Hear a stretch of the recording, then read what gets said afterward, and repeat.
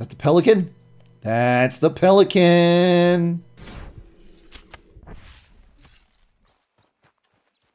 I'm really glad that it didn't fall into the water, because that would suck.